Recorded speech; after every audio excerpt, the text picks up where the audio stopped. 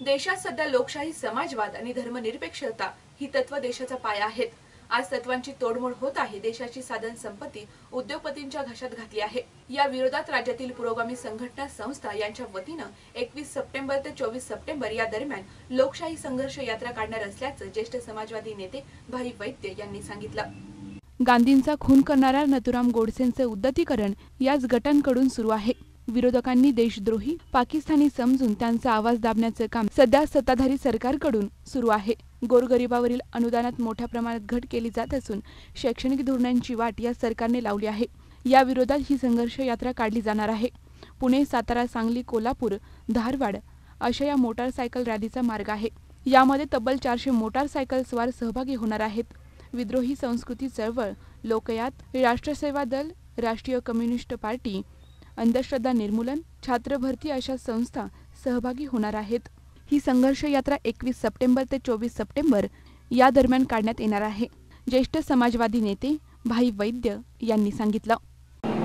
ज्या पद्धतीने C B colonel पुरोहितवर खटला भरला आणि आता सी बी आय म्हणते आमच्याजवळ पुरावे नाही ह्या ह्या सर्व गोष्टी लक्षात घेताना सनातन प्रभातच्या लोकांची चौकशी चालू आहे. सी बी आय करते आहे परंतु पुन्हा कोणीतरी डायरेक्टर बदलेल आणि पुरावे सापडत नाहीत असं म्हणण्याचा धोका आहे. आणि म्हणून जनतेने याचा आग्रह धरावा. हे सांगण्यासाठी पुण्यात जिथे दाभोळकरांची हत्या झाली कोल्हापूरला कॉम्रेड पानसरेंच्या घराच्या जवळच त्यांची हत्या झाली आणि डॉक्टर कलबुर्गींची तर त्यांच्या घरातच हत्या झाली. आणि ते आरोपी आधी पकडले गेले नाही आता संशयित म्हणून पकडले गेलेले आहेत. पण ते सोडले जाणारच नाहीत अशी खात्री नाही.